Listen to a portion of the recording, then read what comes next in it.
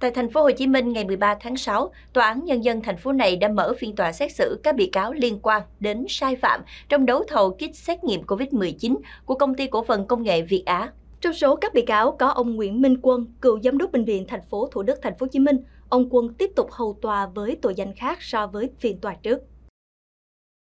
Các bị cáo bị truy tố trước tòa gồm Nguyễn Minh Quân, nguyên giám đốc bệnh viện thành phố Thủ Đức, Nguyễn Lan Anh, nguyên phó giám đốc bệnh viện thành phố Thủ Đức, Phạm Vũ Phong, nguyên giám đốc công ty trách nhiệm hữu hạn thiết kế xây dựng, thương mại và dịch vụ Nam Phong, Trương Thị Bảo Trân, nhân viên phòng vật tư trang thiết bị y tế, bệnh viện thành phố Thủ Đức, Mai Lệ Quyên, nguyên trưởng khoa vi sinh, bệnh viện thành phố Thủ Đức.